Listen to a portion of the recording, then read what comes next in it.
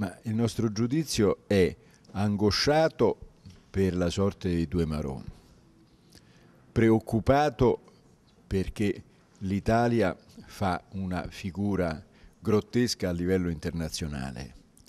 E chiediamo al governo la razza dei suoi comportamenti, che cominciano da quando non si sa bene chi diede indicazioni alla nave italiana di ritornare in un porto indiano, perché è da lì che cominciano tutti i guai.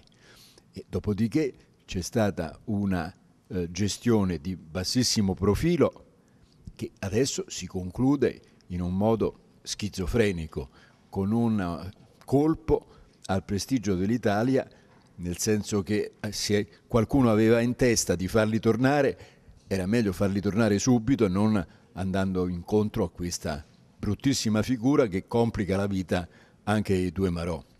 Quindi una cosa che ha solo passività e nessun aspetto positivo.